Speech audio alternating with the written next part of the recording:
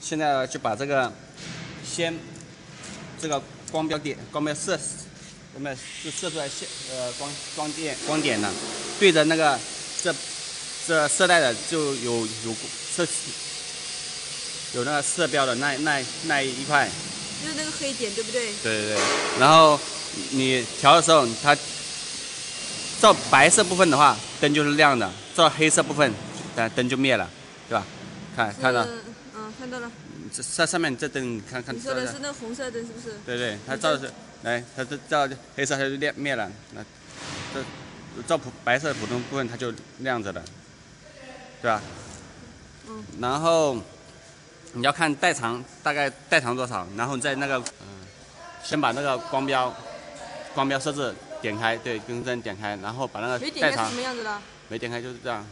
它就没走光标的。嗯，那点开。对，点开，然后呢，带长像我们这带长一般九十左右，九十的话我们调到八十五、八十五啊、八十六、八十七、八十八就行了。如果说带长很长的话，你就不要比比那带子实际长度短个呃，就是短短一点点，调短稍微调短一点就行了。然后呢，比如说现在我上面已经调好了，然后我再开机的话，机器的话，你看现在是没对准这里。现在是风口是没对准的，它封到这里。现在呢，我们要把这个位置调调调风口调这这这位置对不对？对吧？我继续关掉先，然后把这风口位置调下来，把保证每袋袋子是一样的，对不对？然后我就把它把这调上去一点点。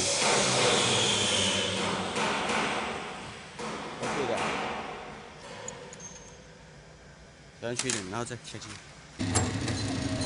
来，到风口位置就下来了。还还差一点点。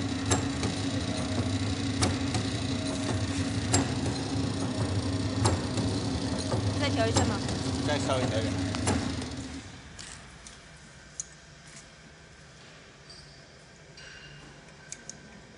把这个移往上移就行了。就把这个光点往上面移一点点，是吧？对对对，反正调高度嘛，它高，它这个跟着高，然后下面风口这个位置也跟着提提高。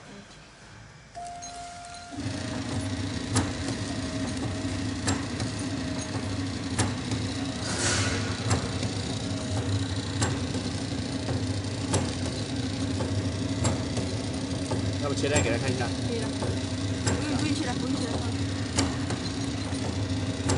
好，你切一下。